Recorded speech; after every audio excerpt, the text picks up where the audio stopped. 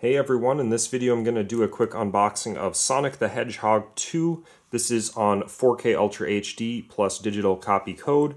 So this one doesn't come with a Blu-ray inside, just the 4K it looks like. So it's kind of interesting, but uh, pretty efficient. It's you know if I got the 4K, I really don't have a need for the Blu-ray honestly. So, but anyways, I picked this up at Best Buy. It was 10 bucks for their pre-Black Friday sale in 2022 wasn't planning on getting this title title when it was first released just because I, I don't know, I just didn't feel like I needed to have it for the full price of it, but I thought for 10 bucks, well, okay, I'll check it out. So um so yeah, um, here's a look at the artwork on the front. Looks pretty good to me.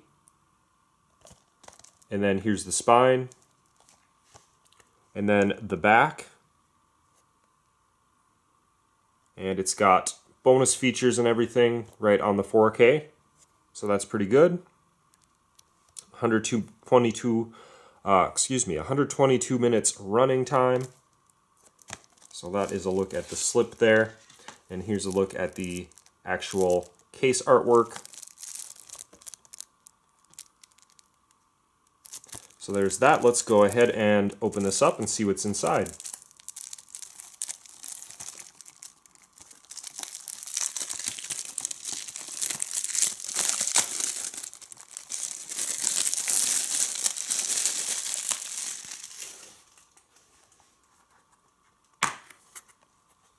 All right, so here's what we get inside. We've got a few inserts here. Digital copy code is right there.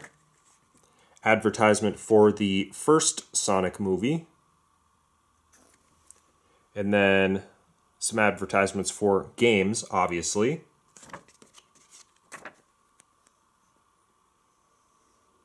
So there's that. That's pretty cool. So just one disc inside here, which is nice and efficient in my opinion.